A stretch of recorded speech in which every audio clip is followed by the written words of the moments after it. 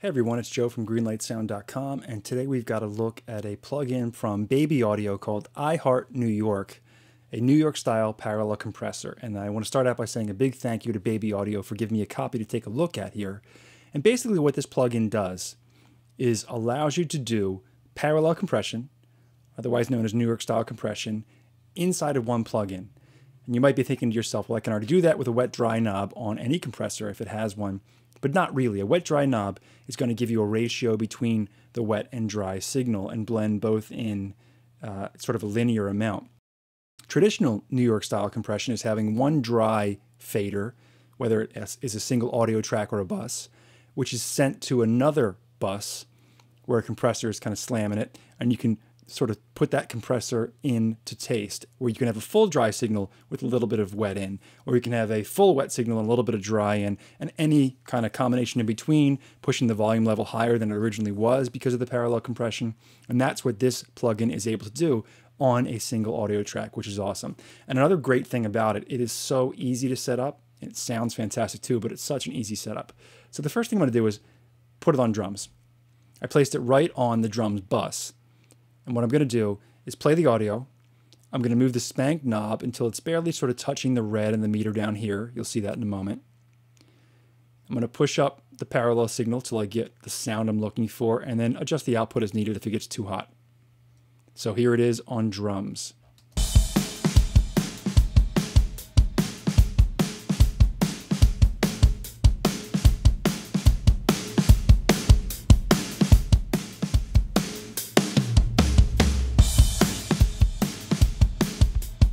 Without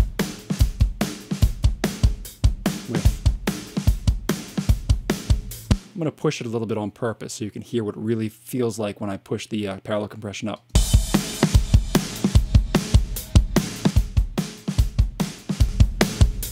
I mean, just smacks the heck out of the signal. It sounds really good. If I hit the solo button, you're going to hear just the processed audio with no dry audio at all.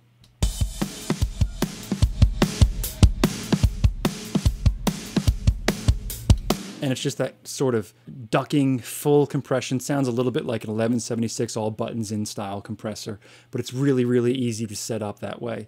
And in the context of a full mix if i bring it down a little bit turn off the solo i'm going to start with it off and then engage the parallel compression. You hear how it really helps the drums pop out of the mix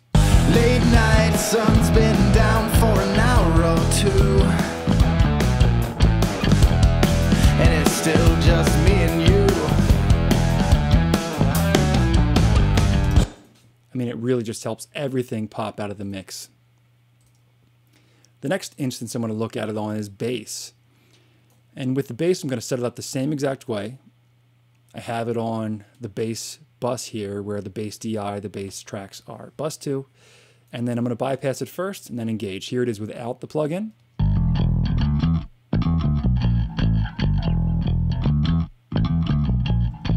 And with.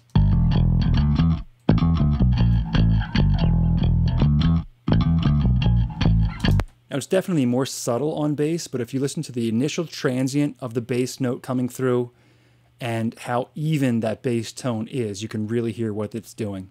So here it is without and with. It's just going to pop through the mix a little bit more with that engaged. And the final thing I want to look on is vocals. A lot of times you kind of slam a vocal and bring that in parallel. So I have it set it up on the vocal track here. I'm going to bypass first and have the vocals in the context of the full mix. Late night, sun's been down for an hour or two.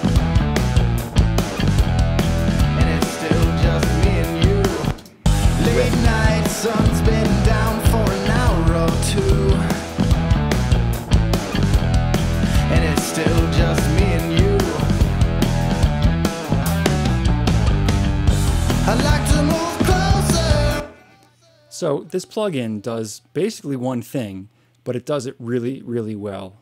That, that parallel compression, if you have a mix element you want to pop out of the mix, this is a great tool to put it on to get that element to start popping out of the mix. So easy to set up too, which is really nice.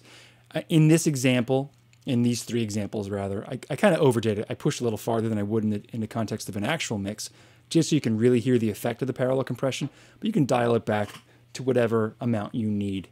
Uh, it's a fantastic tool. I can't recommend it highly enough. If you have any questions or comments, let me know in the comment section down below. Don't forget to subscribe if you haven't done so already, and I'll see you in the next one.